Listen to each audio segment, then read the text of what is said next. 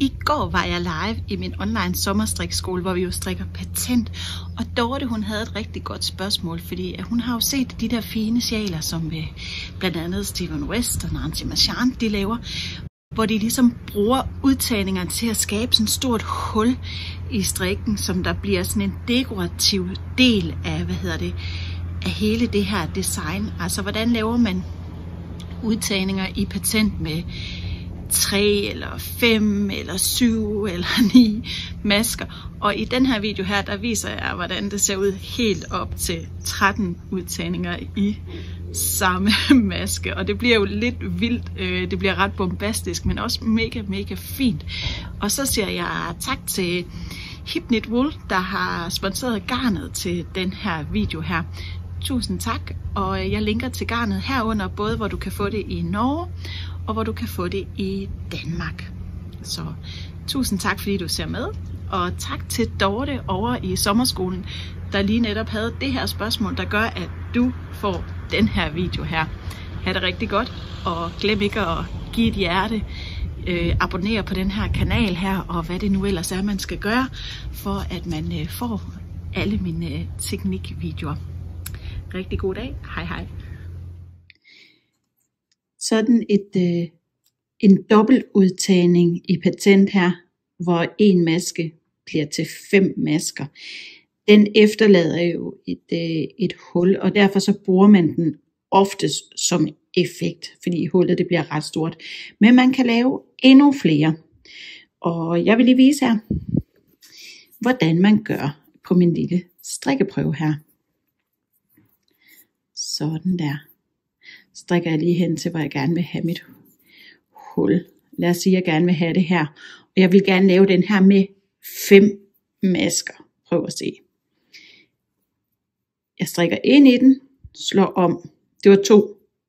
Strikker ind i den. Det var tre. Slår om. Det er fire.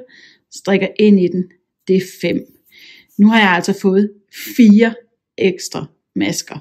Og når man arbejder med ind- og udtagninger i patent, og jeg har flere videoer her på min kanal om ind- og udtagninger i patent, øh, du kan bare følge det lille i heroppe. Så, øh, hvad hedder det, så arbejder man hele tiden i maskepar, det vil sige, at man har sin retmaske, og man har sin vrangmaske. Og der skal hele tiden arbejdes to masker væk. Derfor så arbejder vi hele tiden enten med at tage, tage tre masker sammen, eller strikke tre masker op, strik fem masker sammen, eller strik fem masker op, eller syv, eller ni, hvis det skal være helt vildt. Sådan her.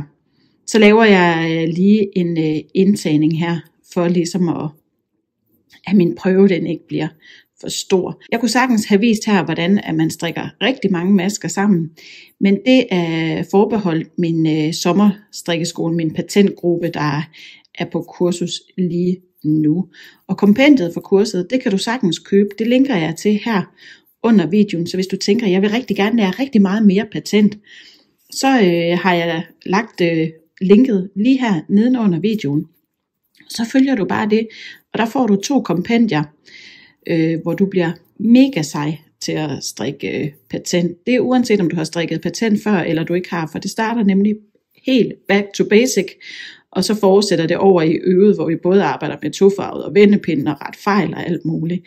Se, nu er jeg kommet her til min kæmpe maskeklynge her, og nu skal der sættes op til patent igen. Hvis du tænker, patent, jeg har aldrig hørt om patent før, hvad er det?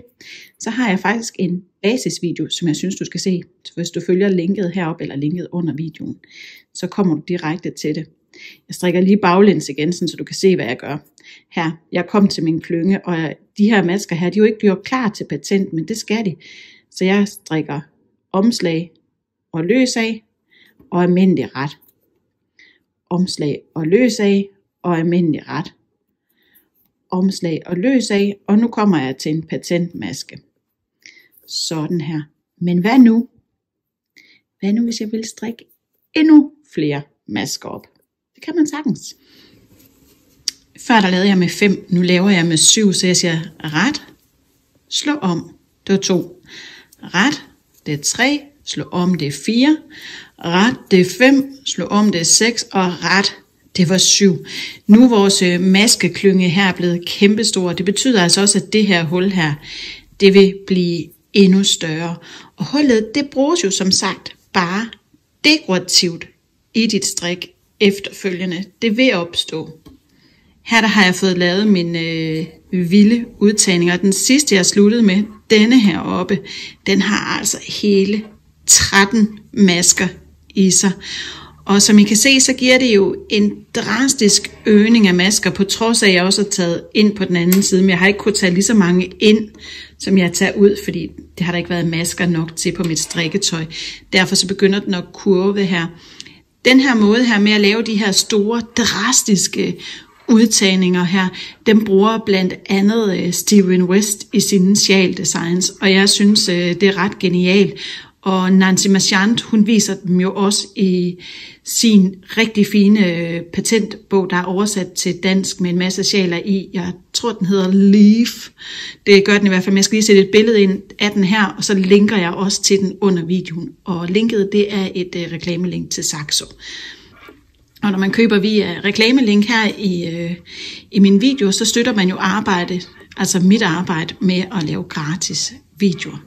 Jeg synes, det er rigtig, rigtig sjovt at arbejde med de her forskellige typer af, af udtagninger her, og så også øh, sammen med indtagningerne, så kan man skabe nogle virkelig interessante mønstre her. Tak Dorte, fordi du stillede det her spørgsmål.